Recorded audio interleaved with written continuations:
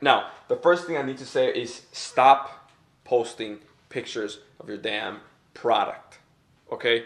I see a lot of people doing this. If you see, for example, right now, Gillette, a freaking multi billion dollar company, they just put pictures of their product and it sucks. Do not do that. Nobody wants to get pitched over and over again, and that is exactly what you're doing. If you're posting pictures of your product over and over again without selling, like, for example, having a, a person using it or having a picture, a person smiling or selling the experience of the actual product, nobody will buy and they will feel freaking annoyed. All right. So if you're selling whatever it is, makeup, beauty, like t-shirts, anything, do not put pictures of your product. Have somebody actually wearing the thing and actually using it. All right. People at the end of the day, people want to buy your ecom product or your product because of the experience and the result they get from it, not because they want to freaking buy a product. Okay. So if you're selling markers, if you're selling markers, do not put pictures of markers in a whiteboard Nobody cares, right?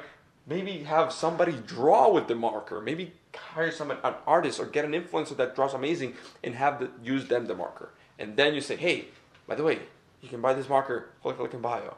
Okay, probably that they will perform really well. By the way. So, anyways, now, now that's out of the way. Do not put pictures of your product.